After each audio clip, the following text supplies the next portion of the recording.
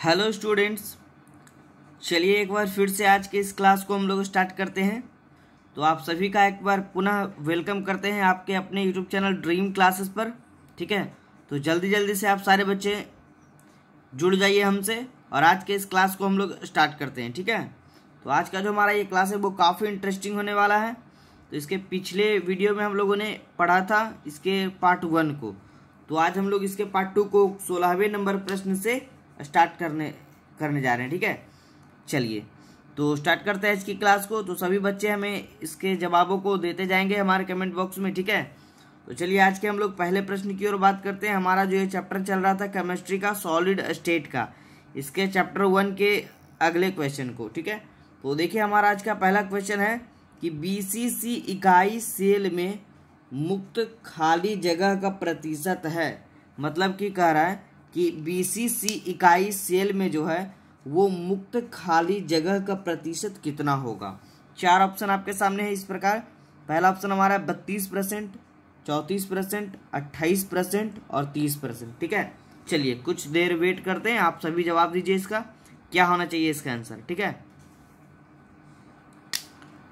चलिए, बहुत सारे बच्चों ने जवाब दिया इसका। जिन बच्चों को ऑप्शन ए लग रहा है जी, उनका बिल्कुल ही सही जा रहा है आंसर ठीक है? इसका जो राइट आंसर हो जाएगा, वो हो जाएगा ये थर्टी टू परसेंट कि बीसीसी इकाई सेल में जो मुक्त खाली जगह का प्रतिशत होता है, वो बत्तीस प्रतिशत होता है, ठीक है? चलिए, आगे बढ़ते और आगे बढ़ने से पहले एक सूचना दे देते हैं। जिन बच्चों ने अभी तक हमारे लर्निंग ऐप को डाउनलोड नहीं किया है, वो ज़रूर जाकर डाउनलोड करके हमारे क्लास को ज्वाइन कर लीजिए। काफ़ी बेहतरीन होने वाला है आपका टॉपिक ठीक है? चलिए, अगले प्रश्न, आज के दूसरे प्रश्न और टॉपिक के सत्रहवें प्रश्न की ओर बात कर लेते हैं। ये देखिए, सत्रहवा प्रश्न, यानी कि अगला प्रश्न हमारा कह रहा है कि सौटकी दोष के कारण ठोस का घनत्व क्या होता है? ठीक है ऑप्शन आपके सामने इस प्रकार है, बढ़ जाता है ऑप्शन ए हमारा बढ़ जाता है ऑप्शन बी घट जाता है ऑप्शन सी शून्य हो जाता है, या option D none of these यानी कि इनमें से कोई नहीं, ठीक है? तो चलिए, इसका जवाब दीजिएगा, प्रश्न आपका है क्या? कि सॉटकी दोष के कारण ठोस का जो घनत्व है, वो क्या होता है? ठीक है? चलिए, इंतज़ार कर लेते हैं कुछ देर, आप सभी का। चलिए, इसका आंसर जान लेते हैं हम लोग। बहुत सारे बच्चे इसका सही जवाब दिए होंगे। सॉटकी दोष के कारण ठोस का घनत्व, जिन बच्चों को ऑप्शन बी लग रहा है, उनका बिल्कुल ही सही है। घट जाता है जी, ठीक है? अच्छे से नोट कर लीजिएगा कि सॉटकी दोष के कारण ठोस का घनत्व जो है, वो घट जाता है। ठीक है? चलिए, आगे बात करते हैं अठारहवें प्रश्न की ओर। अठारहवा प्रश्न आप लोग को दिख रहा होगा स्क्रीन पे कि फ्रेंकल तथा शॉर्ट की दोष होते हैं, ठीक है? किस प्रकार के दोष होते हैं? आपको एग्ज़ाम में ये क्वेश्चन ज़रूर देखने को मिलेगा इस बार। चार ऑप्शन आपके सामने है। पहला, नाभिकीय दोष ऑप्शन दूसरा क्रिस्टल दोष ऑप्शन तीसरा हमारा है परमाणु दोष और ऑप्शन चौथा हमारा है अनुदोष ठीक है? क्या था क्वेश्चन हमारा? कि फ्रेंकल तथा की दोष जो है, वो किस प्रकार के दोष होते हैं? तो आप सभी बच्चे हमें बताइएगा इसका आंसर क्या होना चाहिए। ठीक है? चलिए। आंसर जान लेते हैं हम लोग। जी हाँ जिन बच्चों को लग रहा है परमाणु दोष, उनका बिल्कुल ही सही है जी। फ्रैंकल तथा सॉटकी दोष जो होते हैं, वो एक प्रकार के परमाणु दोष होते हैं। ठीक है? आगे बढ़े। चलिए, अच्छे से नोट करते जाइएगा सारे बच्चे। आगे बढ़ते उन्नीसवें टॉपिक की ओर। उन्नीसवा जो हमारा क्वेश्चन है, वो कह रहा है, ये देखिए। कह रहा है कि ठोस क्षारीय धातु हाइलाइडों का रंग जो है, वो किसके कारण होता है? बहुत ही अच्छा क्वेश्चन है। कह रहा है, ठोस क्षारीय धातु हाइलाइडों का रंग किसके कारण होता है? चार ऑप्शन आपके सामने है। एफ़ केंद्रों के कारण सॉटकी दोष के कारण फ्रेंकल दोष के कारण या अंतराकाशी स्थानों के कारण। ठीक है? ये आपका उन्नीसवा प्रश्न है। तो सारे बच्चे जवाब देंगे इसका, क्या होना चाहिए? सही जवाब, ठीक है? चलिए, जिन बच्चों को लग रहा है ऑप्शन ए, उनका बिल्कुल ही सही जा रहा है, ठीक है? इसका जवाब होगा जी, एफ़ केंद्रों के कारण। क्या था क्वेश्चन हमारा? फिर से हम पढ़ रहे हैं। ठोस क्षारीय धातु हलाइडो का रंग किसके कारण होता है? तो एफ़ केंद्रों के कारण। आगे बढ़ते मुझे उम्मीद है कि यह टॉपिक आप लोग का बहुत ही अच्छा जा रहा होगा और ये वीडियो बहुत ही अच्छा होने वाला है। तो इस वीडियो में आप लोग अंत तक बने रहिएगा इस क्लास में, ठीक है? चलिए, आगे बात करते हैं बीसवें प्रश्न की ओर। तो आप सभी बच्चे इसको अच्छे से नोट कर लीजिएगा और गौर से देखिएगा इस प्रश्न को। कह रहा हमारा प्रश्न कि निम्नलिखित में कौन अक्रिस्टलीय ठोस है? ऑप्शन हमारा है ए नंबर ग्राफिक ठीक है? ऑप्शन बी हमारा है क्वार्ट्स ग्लास यानी कि S I O two silicon oxide और हमारा सी नंबर ऑप्शन है क्रोमेलियम ठीक है? और ऑप्शन डी हमारा है silicon carbide, S, I, C. तो चलिए, क्या होना चाहिए? इनमें से कौन जो है वो अक्रिस्टलीय ठोस का उदाहरण है? सभी बच्चे जवाब देंगे इसका, ठीक है? चलिए, जवाब जानते हैं इसका हम लोग। क्या होना चाहिए? राइट आंसर होगा इसका बी नंबर जिनको भी बी लग रहा है S I O two quartz glass वो बिल्कुल ही सही सोच रहे थे, ठीक है? इसका सही जवाब ऑप्शन नंबर बी हो जाएगा। चलिए, आगे बढ़ते हैं हम लोग, अगले प्रश्न की ओर। ये देखिए, हमारा इक्कीसवा प्रश्न क्या कर रहा है? कह रहा है, किस युगल में सर्वाधिक संकुलन क्षमता होती है? ऑप्शन आपके सामने पहला एचसीपी तथा बीसीसी ऑप्शन बी हमारा HCP तथा सीसीपी ऑप्शन सी हमारा है बीसीसी तथा सीसीपी देखिए, अच्छे से ऑप्शन को देखिएगा। सभी एक जैसे लगेंगे तो बच्चे कंफ्यूज कर जाते हैं यहाँ पर। ऑप्शन डी हमारा है बीसीसी तथा सरल घनीय कोष्टिका ठीक है? क्या होगा जवाब जी? सभी बच्चे इसका आंसर देंगे। चलिए, इसके आंसर को जानते हैं। इसका राइट आंसर हो जाएगा ऑप्शन नंबर बी यानी कि हमारा प्रश्न क्या था, उसको पहले हम एक बार फिर से पढ़ते हैं, उसके बाद इसके जवाब को हम लोग क्लियर करते हैं। प्रश्न था, किस युगल में मतलब कि इन चारों में से किस युगल में जो है, वो सर्वाधिक मतलब बहुत ही अधिक संकुलन क्षमता होगी इन चारों में? इन चारों का जब हम लोग कंपेरिजन करेंगे तो राइट आंसर हमारा क्या होगा? एचसीपी तथा सीसीपी का, ठीक है? और आगे बढ़ते हैं बाईसवें नंबर प्रश्न की ओर। बाईसवा कह रहा है कि अपमिश्रण में किस प्रकार का दोष उत्पन्न होता है, ठीक है? अपमिश्रण में किस प्रकार का दोष उत्पन्न होता है? बहुत ही अच्छा ये बेहतरीन प्रश्न है। बहुत बार एग्ज़ाम में पूछा। आपके सामने चार ऑप्शन है प्रभंश दोष, ठीक है प्रभ्रंश दोष शॉर्टकी दोष, बी नंबर, सी नंबर में है फ्रैंकल दोष और ऑप्शन डी हमारा इलेक्ट्रॉनीय दोष, ठीक है? चलिए, जवाब देंगे सारे बच्चे, इसका क्या होना चाहिए आंसर? कि अपमिश्रण में किस प्रकार का दोष उत्पन्न होता है। चलिए, जवाब को जान लेते हैं इसका। बहुत सारे बच्चों का सही जवाब आ रहा है। तो राइट आंसर इसका हो जाएगा जी ऑप्शन नंबर डी ठीक है? इलेक्ट्रॉनीय दोष इसका सही जवाब होगा। जिन्होंने इसको टिक करा था, वो बिल्कुल ही सही है, ठीक है? कि अब मिश्रण में किस प्रकार का दोष उत्पन्न होता है? तो इलेक्ट्रॉनीय दोष। और आज का हमारा तेईसवा जो प्रश्न है, वो काफ़ी अच्छा है। बहुत बार एग्ज़ाम में पूछा है कि एन ठीक है? यानी कि सोडियम क्लोराइड यानी कि साधारण नमक के अंठावन दशमलव पाँच ग्राम में एकक कोष्टिकाओं की संख्या लगभग कितनी होती है? बहुत ही बेहतरीन प्रश्न है। सभी बच्चे जवाब देंगे। चार ऑप्शन आपको दिख रहा होगा स्क्रीन पे। कह रहा है, देखिए एन यानी सोडियम क्लोराइड के अंठावन दशमलव पाँच ग्राम में एकक कोष्टिकाओं की संख्या लगभग कितनी होगी? ऑप्शन हमारा है छः गुने दस पर पावर बीस। ऑप्शन बी हमारा तीन गुने दस पर पावर बाईस। ऑप्शन सी हमारा एक दशमलव पाँच गुने दस पर पावर तेईस। और हमारा ऑप्शन डी है ज़ीरो पॉइंट फाइव ठीक है? देखिए, समझिए अच्छे से, ज़ीरो दशमलव पाँच गुने दस पर पावर चौबीस। तो क्या होगा इसका जवाब? सभी बच्चे दीजिए इसका आंसर। बहुत ही अच्छा है। सभी बच्चे नोट कर लीजिएगा इस क्वेश्चन को जी। ठीक है? चलिए, इसके आंसर को जानते हैं। जिन बच्चों को ऑप्शन सी लग रहा है उनका जवाब बिल्कुल ही सही है। ठीक है? बहुत सारे बच्चे का जवाब सही आ रहा है। आगे बढ़ते चौबीसवें नंबर की ओर। चौबीसवा नंबर भी काफ़ी बेहतरीन प्रश्न है। कह रहा है, किसी शुद्ध क्रिस्टल में जालक स्थल डैश द्वारा अध्यासित नहीं हो सकता है। चार ऑप्शन आपके सामने है। अणु के द्वारा, आयन के द्वारा, इलेक्ट्रॉन के द्वारा या परमाणु के द्वारा। ठीक है? क्या होना चाहिए इसका जवाब? किसी शुद्ध क्रिस्टल में जालक स्थल किसके द्वारा या डैश के द्वारा अध्यासित नहीं हो सकता है? अणु, इलेक्ट्रॉन, आयन, परमाणु। चलिए जवाब दीजिए सारे बच्चे, क्या होगा इसका आंसर?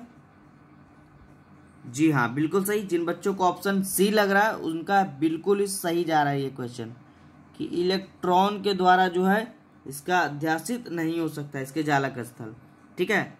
आगे बढ़ते हैं। अगले यानी कि पच्चीसवें प्रश्न की ओर।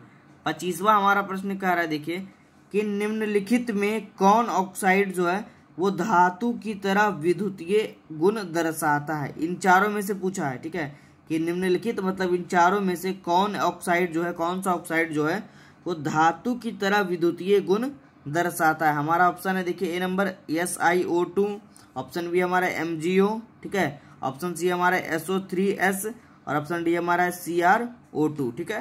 तो जवाब दीजिए सारे बच्चे, इसका क्या होना चाहिए? सही जवाब, पच्चीसवें नंबर का। इन चारों में से कौन ऑक्साइड जो धातु की तरह विद्युतीय गुण दर्शाएगा? तो चलिए इसके जवाब को जान लेते हैं। जिन बच्चों को लग रहा है ऑप्शन डी उनका बिल्कुल ही सही जा रहा है। इसका राइट आंसर हो जाएगा सी आर ओ टू का, ठीक है? आगे बढ़ते हैं, अगले क्वेश्चन की ओर। छब्बीसवें नंबर की ओर। देखिए, बहुत ही अच्छा प्रश्न ये भी है। है, निम्नलिखित में कौन सा जालक ठोस है? चार ऑप्शन दिए गए आपके सामने। पहला हमारा एसओ टू ठीक है? ऑप्शन बी हमारा आई टू ऑप्शन सी हमारा है हीरा, ऑप्शन डी हमारा है एच टू ओ बर्फ़। अब देखिए इस क्वेश्चन में सोचने वाली बात क्या है और थोड़ा सा कन्फ्यूज़न क्या है? देखिए, सोचने वाली बात यह है कि हमारा जो है, ये देखिए लिखा हुआ है कि निम्नलिखित में से कौन सा जालक जो है, वो ठोस है। तो यहाँ पे ऑप्शन ए में जो हमारा एसओ टू है, उसके बगल में ठोस लिखा हुआ है।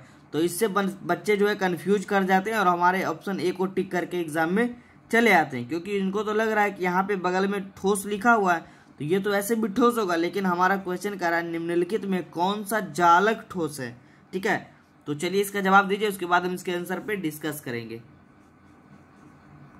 जी हाँ बहुत सारे बच्चे जवाब सही दे रहे हैं। जिन बच्चों को लग रहा है, ये देखिए ऑप्शन नंबर सी हीरा, उनका बिल्कुल ही सही जवाब है। ठीक है? इसको अच्छे से याद कर लीजिएगा जी। बहुत बार एग्ज़ाम में पूछा है। कंफ्यूजन वाला क्वेश्चन है, हीरा इसका सही जवाब होगा कि निम्नलिखित में से कौन सा जालक ठोस है? तो हीरा। ठीक है? आगे बढ़ते हैं। इसका वर्तनांक भी आप लोग को पता होगा टू पॉइंट फोर टू ठीक है? अच्छे से नोट कर लीजिएगा। बहुत बार एग्ज़ाम में ये भी पूछता है। चलिए, हम आपको नोट करवा देते हैं। कभी कभी पूछता है जी एग्ज़ाम में कि हीरे का अपवर्तनांक कितना होता है? बहुत बार ये एग्ज़ाम में बनता है। तो आपको टिक करना है, दो दशमलव चार दो। ठीक है? अच्छे से नोट कर लीजिए सारे बच्चे। और एक और क्वेश्चन पूछेगा, सर्वाधिक कठोर पदार्थ।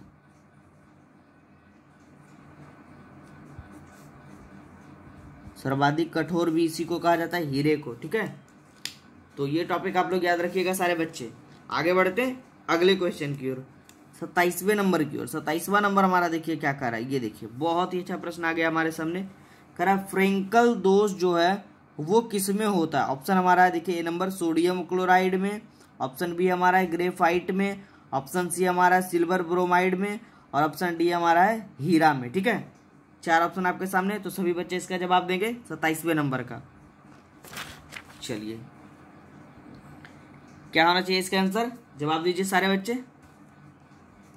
चलिए, जान लेते इसका आंसर। जी हाँ बहुत सारे बच्चों का सही जवाब आ रहा है। इसका राइट आंसर हो जाएगा जी option number C, silver bromide में। जिन बच्चों ने इसका जवाब सी दिया है बिल्कुल ही सही दिया है, ठीक है? अच्छे से नोट कर लीजिएगा सारे बच्चे कि फ्रेंकल दोष किसमें होता है? तो सिल्वर ब्रोमाइड में, ठीक है? और आगे हमारा अट्ठाईसवा प्रश्न और काफ़ी बेहतरीन प्रश्न इस टॉपिक का आ गया है, जो कि इस प्रकार से, बहुत बार एग्ज़ाम में ये पूछा गया है। आप इससे प्रीवियस ईयर क्वेश्चन भी कर सकते हैं कि एवोगाड्रो संख्या, यानी कि ब्रैकेट में एन से इसे सूचित किया जाता है, किसके बराबर होता है? बहुत ही अच्छा क्वेश्चन है। देखिए ऑप्शन आपका कन्फ्यूज़न वाला होगा। पहला ऑप्शन हमारा है छः दशमलव ज़ीरो दो दो गुने दस पर पावर चौबीस। दूसरा ऑप्शन हमारा देखिए छः दशमलव ज़ीरो दो दो गुने दस पर पावर तेईस।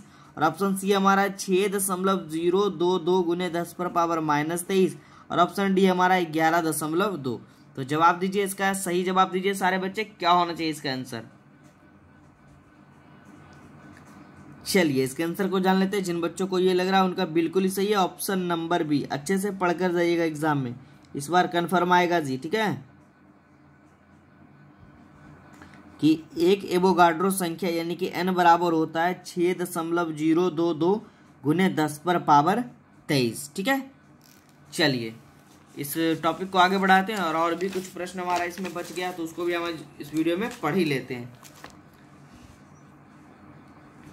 उनतीसवा देखिए प्रश्न हमारा क्या कर रहा है, ठीक है? कर रहा देखिए क्षार क्षारकीय धातु हाइलाइडों के रंगीन होने के सामान्य कारण क्या है? चार ऑप्शन आपके सामने है। पहला हमारा ऑप्शन है अंतरकाशी स्थल, दूसरा हमारा है एफ़ केंद्र, तीसरा हमारा है शॉर्टकी दोष, चौथा हमारा है फ्रेंकल दोष, ठीक है? क्या है प्रश्न? एक बार फिर से पढ़ रहे हैं कि क्षारकीय धातु हाइलाइडों के रंगीन होने के सामान्य कारण क्या है? किस कारण से वह रंगीन होते हैं?